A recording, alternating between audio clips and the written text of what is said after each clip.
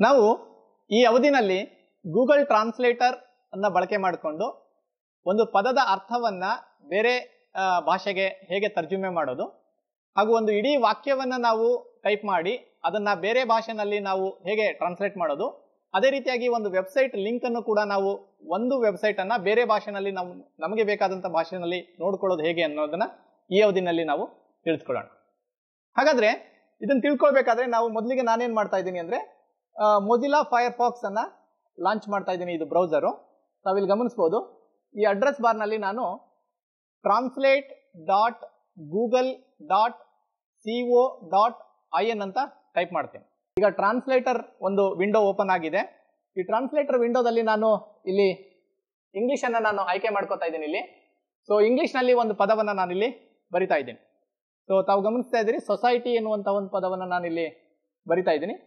ಇದನ್ನ ನಾನು ಕನ್ನಡಕ್ಕೆ ಇಲ್ಲಿ ಆಗಲೇ ಕನ್ನಡ ಸೆಲೆಕ್ಟ್ ಆಗಿರೋದ್ರಿಂದ ನಿಮಗೆ ತಾವು ಇಲ್ಲಿ ಗಮನಿಸ್ತಾ ಇದ್ದೀರಿ. ಅದು ಕನ್ನಡ ಅಂತ ಹೇಳಿ ಬಂದಿದೆ.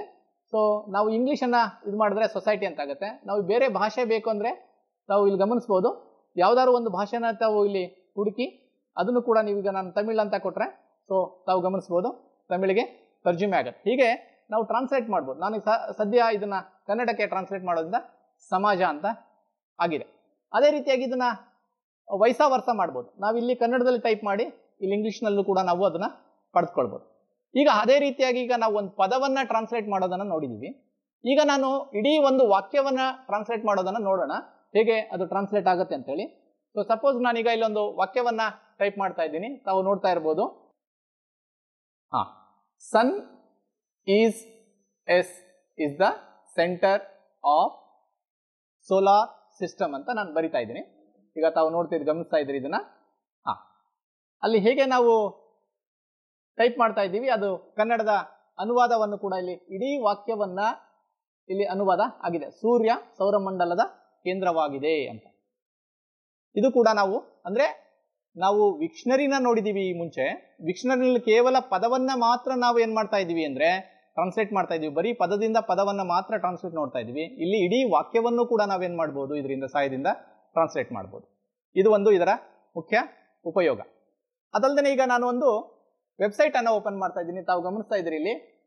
ತಮಿಳುನಾಡು ಸರ್ಕಾರದ ಒಂದು ಸಾರ್ವಜನಿಕ ಶಿಕ್ಷಣ ಇಲಾಖೆಯ ಒಂದು ವೆಬ್ಸೈಟ್ ಅನ್ನು ನಾವಿಲ್ಲಿ ನೋಡ್ತಾ ಇದ್ದೀವಿ. ಇಲ್ಲಿ W W W dot T N ಏನು ಇದಿದೆ. ಗಣಿತಮ್ ಅನ್ನುವಂತಹ ಒಂದು ಇದನ್ನ ತಗೊಂಡಿದ್ದೀವಿ. ಇದು ವೆಬ್ಸೈಟ್ ಕಂಪ್ಲೀಟ್ ಆಗಿ ನಮಗೆ ತಮಿಳ್ನಲ್ಲಿದೆ. ನಾವು ಇದನ್ನ ಕನ್ನಡದಲ್ಲಿ ನೋಡ್ಬೇಕೀಗ ನಾನು. ನನಗೆ ಭಾಷೆ ಇದು ಅರ್ಥ ಆಗ್ತಿಲ್ಲ. ಹಾಗಾಗಿ ನಾನು ಇದನ್ನ ಕನ್ನಡದಲ್ಲಿ ನೋಡಬೇಕು ಅಂತ ಅನ್ಕೋತೀನಿ. ನಾನೇನ್ ಮಾಡ್ತೀನಿ, ಈ ಇಡೀ ಇದನ್ನ ನಾನೇನ್ ಮಾಡ್ತಾ ಇದ್ದೀನಿ ಕಾಪಿ ಮಾಡಿ ಅದರ ವೆಬ್ಸೈಟ್ ಲಿಂಕ್ ಅನ್ನ ನಾನು ಕಾಪಿ ಮಾಡ್ತಾ ಇದ್ದೀನಿ. ಕಾಪಿ ಮಾಡಿ ಸೊ ನಾನು ನನ್ನ ಗೂಗಲ್ ಟ್ರಾನ್ಸ್ಲೇಟರ್ ಏನಿದೆ, ಇಲ್ಲಿ ನಾನು ಅದನ್ನ, ಹಾ, ಇಲ್ಲಿಗ ತಮಿಳ್ ಅಂತ ಸೆಲೆಕ್ಟ್ ಮಾಡ್ಕೊಳ್ಳಿ. ಸೆಲೆಕ್ಟ್ ಮಾಡ್ಕೊಂಡು ಅದನ್ನ ನಾವೇನ್ ಮಾಡ್ಬೇಕು ಇಲ್ಲಿ ಅದನ್ನ ಪೇಸ್ಟ್ ಮಾಡಬೇಕು. ತಮಗಿಲ್ಲಿ ತಾವು ಕಾಣಿಸ್ತಾ ಇದೆ. ಇಲ್ಲಿ ಪೇಸ್ಟ್ ಆಗಿದೆ. ಈಗ ನಾನು ಅದನ್ನ ಟ್ರಾನ್ಸ್ಲೇಟ್ ಅಂತ ಕೊಟ್ರೆ, ಇಲ್ಲಿ ಬಂದು ತಾವು ಗಮನಿಸ್ತಾ ಇದ್ರಿ ಇಲ್ಲಿ ಟ್ರಾನ್ಸ್ಲೇಟ್ ಅಂತ ಕೊಟ್ರೆ, ಇಡೀ ಆ ವೆಬ್ಸೈಟ್ ಏನಿತ್ತು, ಆ ವೆಬ್ಸೈಟ್ನ ನಾವೇನು ಮಾಡ್ಬೋದು ಅಂದ್ರೆ ಕನ್ನಡದಲ್ಲಿ ನೋಡ್ಬೋದು. ಸ್ವಲ್ಪ ಇಂಟರ್ನೆಟ್ ಕೂಡ ಇದರಲ್ಲಿ ಬಹಳ ಮುಖ್ಯವಾದಂಥ ಪಾತ್ರವನ್ನು ತೆಗೆದುಕೊಳ್ತದೆ. ಇಂಟರ್ನೆಟ್ನ ನಮ್ಮ ಸ್ಪೀಡ್ ಯಾವ ರೀತಿ ಇದೆ, ಅದ್ರ ಮೇಲೆ ತಾವು ಗಮನಿಸ್ಬೋದು. ಕಂಪ್ಯೂಟರ್ ಗಣಿತ ಮೂಲಕ. ಸೊ ಇಲ್ಲಿ ಆ ವೆಬ್ಸೈಟನ್ನು ತಾವು ಗಮನಿಸ್ತಾ ಇದ್ದೀರಿ. ವರ್ಡ್ ಟು ವರ್ಡ್ ಟ್ರಾನ್ಸ್ಲೇಟ್ ಆಗೋದ್ರಿಂದ ಕೆಲವು ಪದಗಳು ಹಿಂದೆ ಮುಂದೆ ಆಗಿರಬಹುದು. ಆದರೆ ನಾವು ಅದನ್ನು ಸರಿಪಡಿಸ್ಕೊಂಡು ಅದನ್ನು ಓದ್ಕೊಂಡ್ರೆ ನಮಗೆ ಅಟ್ಲೀಸ್ಟ್ ಅರ್ಥ ಆಗುತ್ತೆ.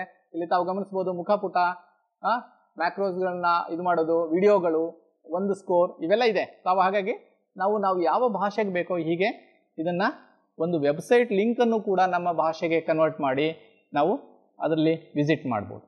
ಇದರಿಂದ ಏನಾಗುತ್ತೆ ಅಂದರೆ ನಾವು ಈ ಗೂಗಲ್ ಟ್ರಾನ್ಸ್ಲೇಟನ್ನು ಬಳಕೆ ಮಾಡೋದ್ರಿಂದ ಒಂದು ಪದವನ್ನು ಅನುವಾದ ಮಾಡ್ಬೋದು. ಅದೇ ರೀತಿಯಾಗಿ ಒಂದು ವಾಕ್ಯವನ್ನು, ಇಡೀ ವಾಕ್ಯವನ್ನು ನಾನು ನನಗೆ ಬೇಕಾದಂಥ ಭಾಷೆನಲ್ಲಿ ನಾನು ಅನುವಾದ ಮಾಡ್ಬೋದು. ಹಾಗೂ ನನಗೆ ಅರ್ಥವಾಗದೇ ಇರುವಂತಹ ಬೇರೆ ದೇಶ, ರಾಜ್ಯದ ವೆಬ್ಸೈಟ್ಗಳು ಏನಾರ ಇದ್ದರೆ ಅದನ್ನು ನನ್ನ ಭಾಷೆನಲ್ಲಿ ನಾನು ಅದನ್ನು ನೋಡಿ ಅರ್ಥೈಸ್ಕೊಳ್ಬೋದು. ಹಾಗಾಗಿ ಇದು ಬಹಳ ಉಪಯುಕ್ತವಾದಂತಹ ಒಂದು ಟೂಲ್ ಅಂತ ನಾನು ಹೇಳ್ತೀನಿ.